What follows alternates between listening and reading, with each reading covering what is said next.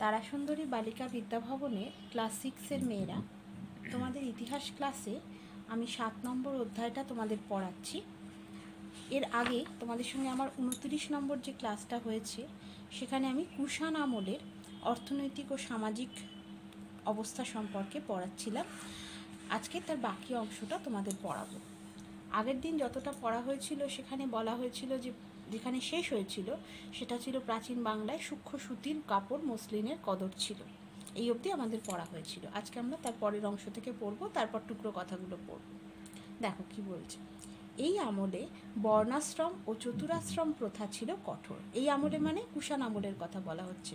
আচ্ছা বর্ণাশ্রম কি আর চতুরাশ্রম কি দুটোই কিন্তু তোমরা আগের অধ্যায়তে পড়েছো। বর্ণাশ্রমটা মনে আছে? সমাজের যে চারটে ভাগ ছিল, জাতি বা শ্রেণি বা বর্ণের ভিত্তিতে, সেটা হচ্ছে ব্রাহ্মণ, ক্ষত্রিয়, বৈশ্য এবং শূদ্র। আর চতুরাশ্রমটা কি ছিল? আর্য সমাজে যে চারটে ভাগ ছিল ব্রহ্মচর্য গার্হস্থ বানপ্রস্থ, সন্ন্যাস। এ সম্পর্কে তোমরা ডিটেলে পড়েছো আগে, তাই সেগুলো আমি আর বলছি না। তাই কুষাণ আমলে এই দুটো প্রথাই খুব কঠোরভাবে পালিত হতো।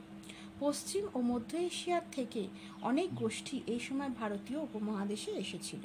ধীরে ধীরে এদের অনেকেই ভারতীয় সমাজে মিশে যায়।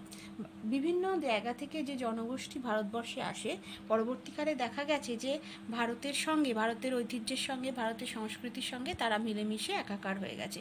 যত ইতিহাসটা এগোবে, তোমরা পড়বে তখন বুঝতে পারবে। মৌর্য আমলের মতো এই সময়েও অবসর সময় কাটানোর নানা উপায় ছিল। নাচ, গান ও অভিনয়ের প্রচলন ছিল বলে জানা যায়। তাহলে মৌর্য আমলের মতো কুষাণ আমলেও মানুষ নাচ, গান, অভিনয় এই সমস্ত জানতো, এ সমস্ত করে তারা বিনোদন করত। পাশাপাশি জাদুর খেলা ও নানান রকম দড়ির কসরত সাধারণ মানুষকে আনন্দ দিত। মানে বিনোদনের ব্যাপারটাও দেখো সেই সময় গুরুত্বপূর্ণ ছিল। জাদুর খেলা মানে ম্যাজিক দেখানোর ব্যাপার ছিল, তারপরে দড়ির খেলা মানে সার্কাসে যেরকম দড়ির ওপর খেলা দেখায়, সেই সমস্ত খেলা তখনকার দিনে প্রচলিত ছিল। পাশা খেলা, শিকার, রথের দৌড় কুস্তি প্রভৃতি ছিল ধনী মানুষদের অবসর কাটানোর উপায়।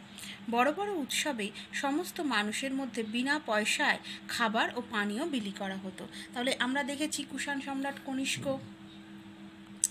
কীরকম ছিলেন সে সম্পর্কে আমরা পড়েছি। তারপর আমরা হর্ষবর্ধন পড়েছি। সেখানেও আমরা, আমি, আমরা দেখেছি যে হর্ষবর্ধন কীভাবে পাঁচ বছর অন্তর অন্তর সমস্ত কিছু নিজের দান করে দিতেন। তখন সম্রাটেরা সাধারণ মানুষের মধ্যে খাবার, দাবার নানা রকম জিনিসপত্র বিনা পয়সায় বিতরণ করতেন। তা এই প্রথাটা কুষাণ আমলেও ছিল। সমাজ জীবনের ভিত্তি ছিল পরিবার। বাবা ছিলেন পরিবারের প্রধান মানে পিতৃতান্ত্রিক সমাজ। এখনও যেটা আছে আমাদের দেশে বাবা হলেন পরিবারের প্রধান।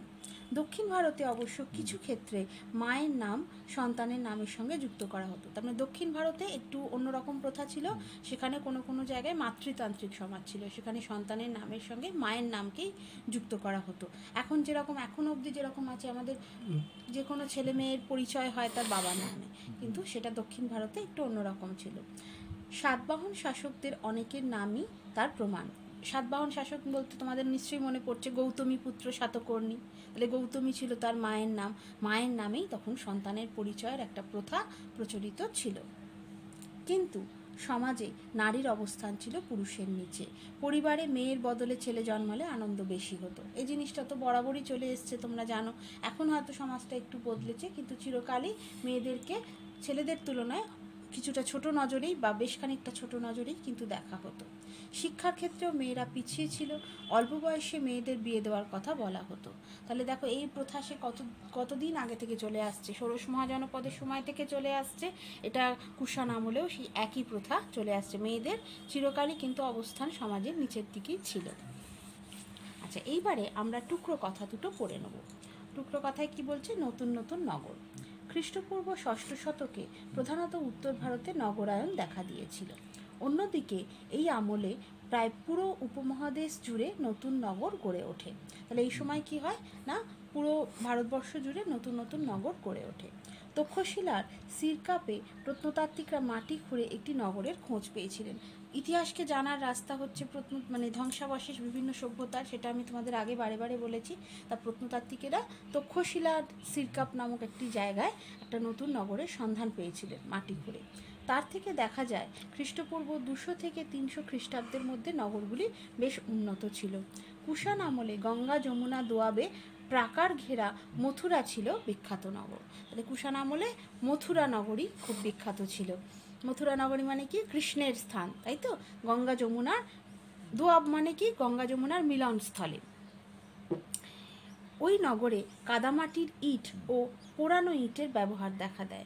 এই সময় মথুরা খুব গুরুত্বপূর্ণ রাজনৈতিক ও বাণিজ্য কেন্দ্র গড়ে ওঠে। বাণিজ্য কেন্দ্র ছিল। কেন ছিল? না, গঙ্গা যমুনার দোয়াব মানে গঙ্গা যমুনার মিলনস্থলে যেহেতু গড়ে উঠেছে, তাহলে সেখান থেকে বাণিজ্য খুব ভালো হবে জলপথে। এবং অর্থনীতি যেখানে উন্নত হবে, সেখানে রাজনৈতিক ব্যবস্থাটাও জোরালো করতে হবে। মথুরার ভাস্কর্য ও অন্যান্য শিল্প ছিল বিখ্যাত। মৌর্য আমলে প্রাচীন বাংলাতে মহাস্থানগড় ও বানগড়ে নগর ছিল বলে জানা যায়। মহাস্থানগড় টিকা আমি তোমাদের পড়িয়েছি। এটা মৌর্য আমলে ওই দুটো ওই জায়গাগুলোতে নগর ছিল বলে জানা যায়। অন্যদিকে এই সময় তাম্রলিপ্ত চন্দ্রকেতুগড় প্রভৃতি নগরও গড়ে উঠেছিল। তার মানে এই সময় এইগুলো ছিল বিখ্যাত নগর। প্রাচীন উড়িষ্যা এলাকার শিশুপালগড়ে নগরের খোঁজ পাওয়া গেছে। তাহলে এইগুলো তোমরা একটু মনে রাখার চেষ্টা করবে। মৌর্য আমলে মহাস্থানগড় বানগড় আর এই সময় মানে এই কুষাণ আমলে কী কী? তাম্রলিপ্ত চন্দ্রকেতুগড় এই সমস্ত নগর গড়ে উঠেছিল। প্রাচীন উড়িষ্যা এলাকার শিশুপালগড়ে নগরের খোঁজ পাওয়া গেছে। দাক্ষিণাত্য ও দক্ষিণ ভারতে এই সময় নতুন নতুন নগর গড়ে ওঠে। কাবেরী নদীর বদ্বীপে কাবেরী পট- আহ, কাবেরীপট্টিনম ছিল বিখ্যাত নগর বন্দর তাহলে কাবেরী নদী দক্ষিণ ভারতে তার তীরে করে উঠেছিল কাবেরীপট্টিনম নামে একটা নগর এবং বন্দর। বন্দর মানে কি? যেখানে জাহাজ এসে থামে যা মানে পোর্ট যেটাকে বলা হয়। তাহলে কাবেরীপট্টিনম ছিল একটা বেশ উল্লেখযোগ্য নগর দক্ষিণ ভারতে। এই সমস্ত নতুন নতুন নগরের নামগুলো আমরা শিখলাম। মৌর্য আমলে কী কী নতুন নতুন নগর, কুষাণ আমলে কী কী, আর দক্ষিণ ভারতে সেই সময় কী কী নগর গড়ে উঠেছিল। এবার আমরা এই টুকরো কথাটা পড়ব। কি আছে? না, সাতবাহন আমলে দক্ষিণ ভারতের গ্রাম জীবন। কুষাণ আমলের সময় সাতবাহন ছিল দক্ষিণ ভারতে শাসন ব্যবস্থা তখন সাতবাহনদের প্রচলিত ছিল। তাদের গ্রাম জীবনটা কীরম ছিল আমরা পড়ব। এই প্রত্যেকটা টুকরো কথা যেগুলো আমি পড়িয়ে দিচ্ছি সবকটাই কিন্তু ইম্পর্টেন্ট যেগুলো কম ইম্পর্টেন্ট বা সেরকম গুরুত্বপূর্ণ নয়, সেগুলো আমি তোমাদের বাড়িতে পড়তে দিয়ে দিচ্ছি। সেগুলো আমি আর পড়াচ্ছি না। খ্রিস্টীয় প্রথম অথবা দ্বিতীয় শতক নাগাদ সাতবাহন রাজা হাল একটি বই সংকলন করেন। প্রাকৃত ভাষায় লেখা ওই বইটির নাম গাথা সপ্ত, সপ্তসতী। তাহলে সাতবাহন সম্রাটের নাম কি ছিল? হাল। তিনি প্রাকৃত ভাষা, সংস্কৃতের মতোই প্রাকৃত একটি অতি প্রাচীন ভাষা। সেই ভাষায় তিনি বইটা কি লিখেছিলেন? তার নাম হচ্ছে গাথা সপ্তশতী সাতশোটি গাথার সংকলন, সাতশোখানা গল্প আছে। এই বইতে সেই সময় দাক্ষিণাত্যের গ্রাম জীবনের নানা দিক সম্পর্কে জানা যায়। বইয়ের সমস্ত চরিত্রই গ্রামের সাধারণ মানুষ। একটা জিনিস তোমরা মনে রাখবে, সাহিত্যকে বলা হয় সমাজের দর্পণ। কি বলা হয়? সমাজের দর্পণ বা আয়না। যে যুগের যেরকম সমাজ ব্যবস্থা, সেই সমাজ ব্যবস্থাকে কেন্দ্র করেই কিন্তু সেই সময় সাহিত্য রচিত হয়। তাহলে যে কোনো বই পড়লে, যে সময় তুমি বই পড়ছো, সেই সময় সমাজ ব্যবস্থা সম্পর্কে জানতে পারবে। যেমন ভারতবর্ষের আদিম যে মহাকাব্য, রামায়ণ, মহাভারত, এগুলো পড়লে কিন্তু তৎকালীন সমাজ ব্যবস্থা কীরকম ছিল সেটা জানতে পারা যায়। এছাড়া যে কোনো বড় লেখকের বই, তোমরা শরৎচন্দ্র চট্টোপাধ্যায়ের বই পড়লে, সেই সময় বাংলার মেয়েদের কীরকম অবস্থা ছিল, জানতে পারবে। রবীন্দ্রনাথ ঠাকুর পড়লে তখনকার সমাজ ব্যবস্থা সম্পর্কে জানতে পারবে। যে কোনো গ্রন্থ পাঠ করলে কিন্তু আমরা সেই সময়কার সমাজ ব্যবস্থার একটা চিত্র পেতে পারি। গ্রামবাসীরা ছিল মূলত কৃষিজীবী। ধান, তেলের বীজ কার্পাস ও শন ছিল প্রধান ফসল। গ্রামের বাড়িগুলি খড় দিয়ে ছাওয়া ও পাঁচিল দিয়ে ঘেরা থাকতো। গ্রামের বাড়ি সেই একই রকম খড় দিয়ে ছাওয়া আর মাটির দেওয়াল থাকতো। পুকুর ফুলের বাগান ও বট গাছ সব গ্রামেই দেখা যেত।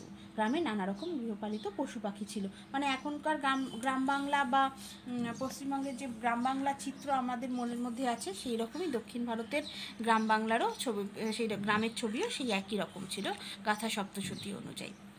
গ্রামের চওড়া ও সরু দুরকম রাস্তাই ছিল। বর্ষায় রাস্তাগুলি কাদায় ভরে যেত। গ্রামের শাসন ছিল গ্রামণীর হাতে। যেমন গ্রামের শাসন এখন কাদের হাতে আছে? গ্রাম পঞ্চায়েত। গ্রামের কিন্তু স্বতন্ত্র শাসন ব্যবস্থা। সেই গ্রাম পঞ্চায়েতের হাতেই গ্রামের মানুষদের শাসন করার দায়িত্ব অর্পণ করা থাকে। তা তখন গ্রামের শাসকদের কি বলা হতো? গ্রামণী। চুরি, ডাকাতি থেকে টাকা পয়সা বাঁচাতে অনেকে সেগুলি মাটির নিচে পুঁতে রাখতো। তখন তো আর ব্যাংক ছিল না। মানুষ তাই কী করতো? মাটির নিচে পুঁতে রাখতো টাকা পয়সা।